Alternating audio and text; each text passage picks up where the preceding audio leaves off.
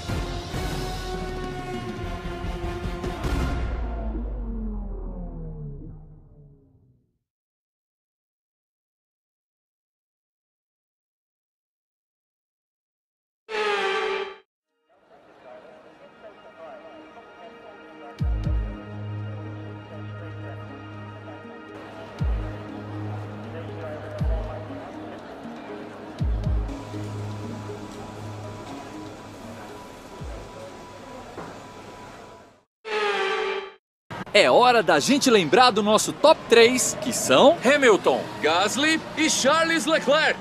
Se o treino de hoje servir como termômetro, vamos ter um fim de semana excepcional para a Fórmula 1.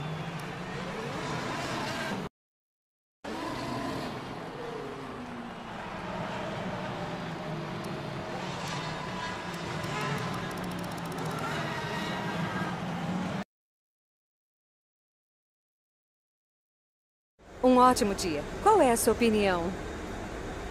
Quem você diria que é o seu maior rival no momento?